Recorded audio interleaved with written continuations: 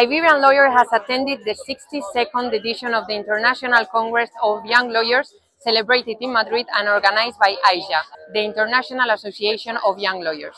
During the event, we had the chance to speak to the new president, Kato Aerts, who is also a partner in the Belgian law firm Lydian. So first of all, Cato, congratulations for this new stage in the association.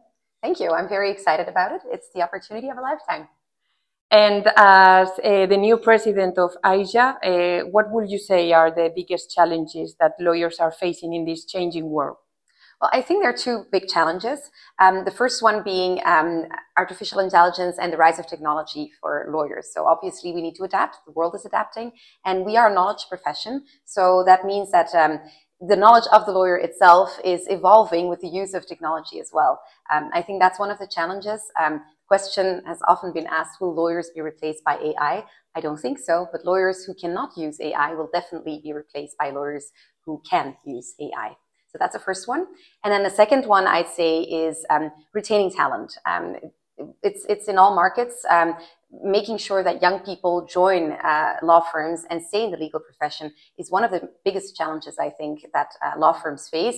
And so for lawyers, it's very important to highlight the, the perks of being a lawyer. I think it's an amazing profession, but it's a demanding one as well. So it's very, it demands big flexibility. You need to be available 24 seven to your clients. And uh, some of the young people just don't want to do that anymore. And I think we need to rethink a bit the way we practice law and also make sure that we highlight the positive things about um, our, our profession. And what role uh, would you say that these associations like AIJA uh, play in, in solving these kind of challenges? Well, I think a very important role that uh, AIJA plays in particular is that AIJA is the only global association for young lawyers. So that means that we bring together young lawyers and we exchange and we work on professional development. We build a network together. So when it comes to the first challenge that I mentioned, uh, the rise of technology and the use of AI, we really invest highly in making sure that this is high on the agenda.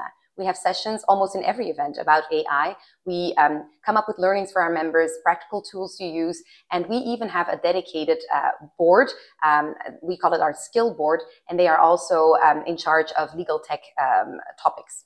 And then the second challenge, I'd say, well, AIJA is the unique platform to bring lawyers together and showcase what it's like to be a lawyer, an international lawyer. You meet people from all over the world.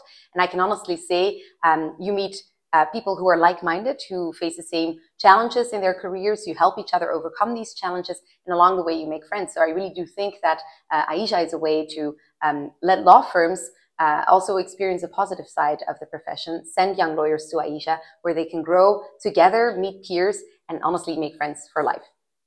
And one last question before we leave. Uh, what would you say are the three pillars of your mandate?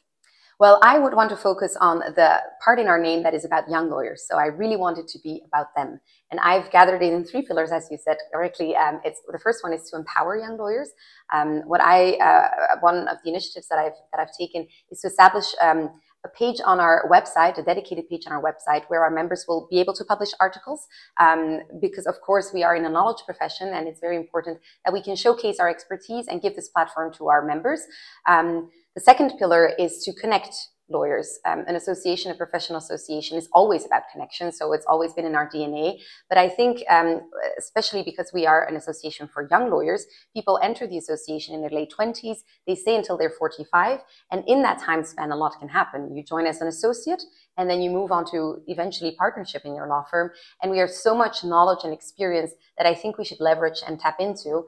And uh, I would like to um, do that with the mentorship program that we've just launched, um, where um, members who are more experienced, let me call it that way, so above the age of 40, but also alumni who've you know, learned a lot in the association and want to give back, can be mentors for younger um, members, uh, those who are under the age of 40, and we'll pair them together so that they can have a coaching year together where they meet up regularly or they can work on a specific uh, project. And then the third pillar is to uh, thrive, let young lawyers thrive. And I think it's important that we address the mental health issues that uh, are, are very um, present in our profession. We've conducted a survey over the summer. We've had lots of responses from our members, which is a fantastic thing because it means that we heard from them, that the responses are um, representative of what, what the, um, the membership in, in AIJA thinks. But it also means that it's high on the agenda and people are really facing mental health issues. Um, I think one of, uh, uh slightly over one third of the, of the respondents said that they uh, experience symptoms of depression sometimes, and only 60% say that um, the workplaces are very supportive in facing mental health challenges. So that is definitely something that we will work on. Um, it will be one of the topics for our podcast series in the next year, where we really aim to give um, tools to young lawyers and to law firms as well to improve the mental health of lawyers and uh, work together for a better world. As I said, there's only one association uh, for young lawyers in the world. We have a voice and we should use it. It sounds uh, perfect, and thank you so much. It's been a pleasure. And from Iberian Lawyer, we would like to wish you so much luck in this new stage next to the young lawyers and the future of the legal market. Thank you. I appreciate it.